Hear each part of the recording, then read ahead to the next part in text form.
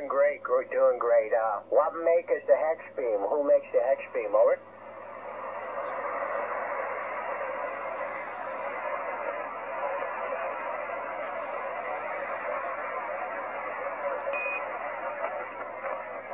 I think it's G, uh, yeah, GWGE or something like that. Uh, boy, I'm having a brain fart myself there. Uh, I know who you're talking about. They, uh, uh, what do you call it? Uh, he does work, I think, for uh, MFJ also, uh, because I think he's the one that uh, did my uh, hex beam I got sitting in a garage there, the 1848. They used his design. Uh, boy, I can't remember his call sign either there, but uh, oh well, I'll remember later when I'm not talking to you no more. That, uh, that's the way it always happens there, William. Over. Kilo, K2TRD, operator name is Martin, Mike Alpha Romeo Tango India November, Mike Mike Zero India Hotel Kilo, K2TRD, over. Yeah, K2TRD Martin. Yes, it's Moray. We've spoke before. Mike Oscar Romeo Alpha Yankee. Uh, we spoke when I was portable, Martin. I'm actually uh, at the home QTH now, but you're coming through very, very strong here. Uh, 5.9 plus 20. 5.9 plus 20 on the peaks. Uh, and running a Codan commercial transceiver, and I'm running a half wave end-fed, uh, vertical polarized uh, resonant for the band, Martin. Over. Roger, Roger, Mary. I, I remember you were running a military radio at the time also when you were working portable, over. That's correct, Martin. That's correct. Yeah, that would have been the, the Clansman 320, the Clansman 320, and I was probably uh, portable on a mountaintop. Over. oh yeah, you were coming in good. I remember. We had a pretty good long QSO there, Mary. So uh, very nice. Now, if I remember right, uh, don't uh, don't you uh, design radios for the military or uh, something in that nature? Over. Uh, no, I'm, I'm actually a software engineering manager. We do um, medical device software for um, heart monitoring. But uh, no, uh, not not on the, the military radios. I do collect military radios. Um, I've got quite a few, uh, and I've got a sort of a YouTube channel that I've got a few videos on. And uh, if you check my QRZ page out, you'll see a few of the the military radios there, Martin. But it's good to hear you. Um, I I was been listening for um, probably um, the last 30 minutes and uh, your signal hasn't dropped whatsoever and in fact it's actually got stronger over Yeah, it normally gets stronger around 3.30, 4 o'clock in the afternoon here. And then I talk into Europe until around 22, 20 UTC time until I talked about everybody that's able to get back across. And then I usually QRX and QRT off frequency, uh, Mary. But uh, you're pretty steady. You're 5 and 9 steady. Uh, so tell me, uh, how many watts are you running now?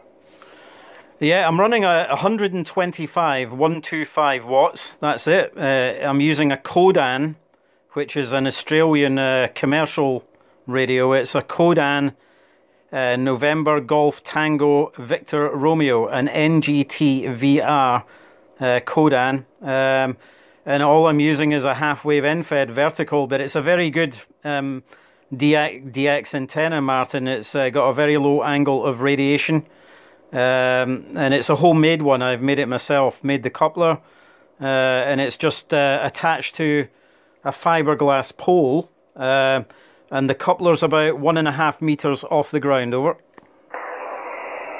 it sounds beautiful. Uh, there's no RF, crystal clean audio, uh, so everything sounds great. And you're like me. I see you're in the dungeon there. That's where all my radio rooms always are. It's in the dungeon. Even at my last QTH, I was in the basement too. Uh, I'm in the basement now. This used to have a hot tub in this room, actually. I pulled the hot tub out of here so I could uh, build a radio room in here instead.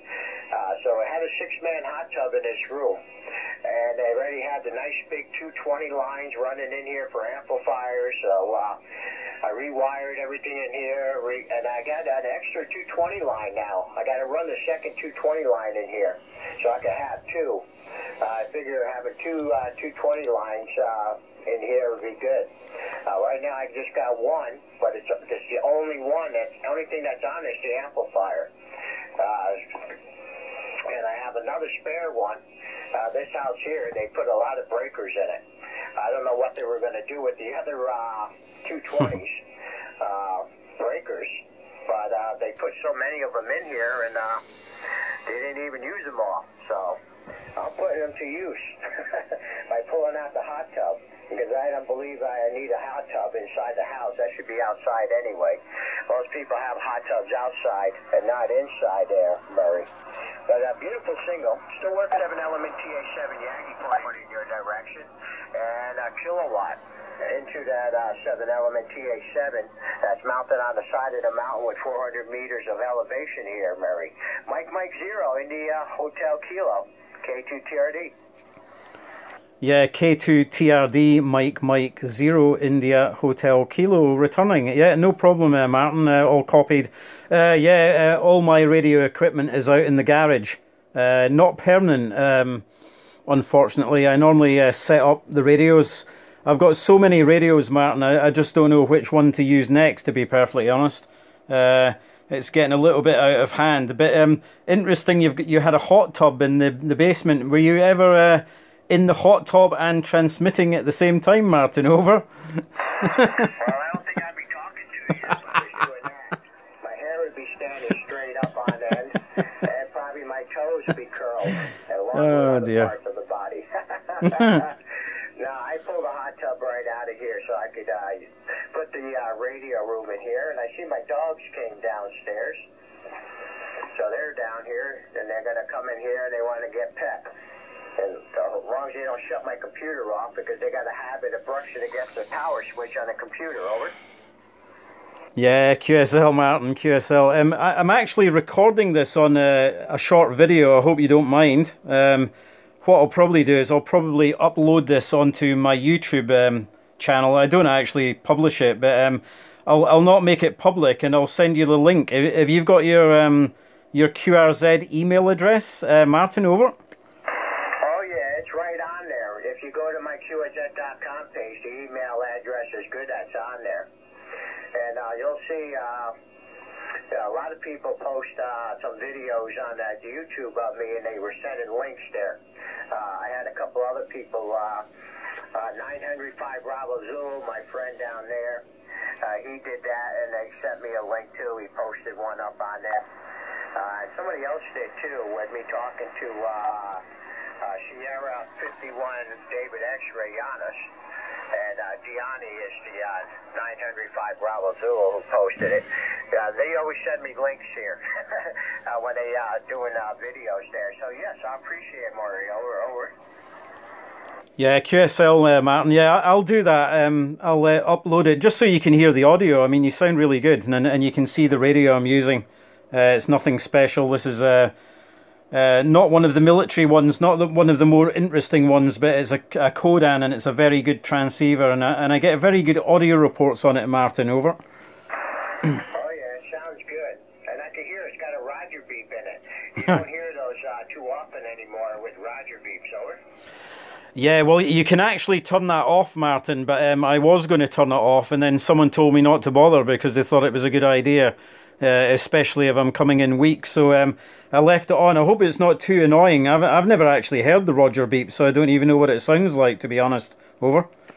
yeah, it's got a little high pitch when it goes off there, uh, Mary. Uh, but I, am not used to hearing them anymore. Nobody uses them anymore. So uh, every time you run key there, and I kept hearing the Roger beep, it reminded me back uh, uh, years and years and years ago when everybody yeah, yeah. Yeah, QSL, yeah. You probably thought I was on a CB radio there, uh, Martin, over. yeah, pretty much there. Well, the 10 meter radios, a lot of the 10 meter radios there uh, all had the uh, Roger beeps in there. Uh, I had plenty of them things here at one time, and but how many 10 meter radios you need? I sold them all off, and I only kept one.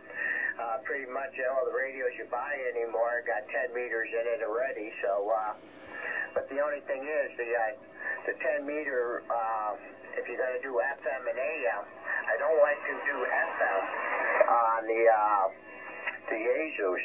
It makes them uh, run hot. Uh, so I rather run a cheap radio, run it uh, like a Connex mm. or uh, the old General Lee's or uh, uh, the RCI radios, things that don't cost too much money. So if you burn that one up, if you run an FM, uh, it's not too bad. Well, you know, I, I, when I'm doing a two meter FM at 40 centimeters and stuff like that.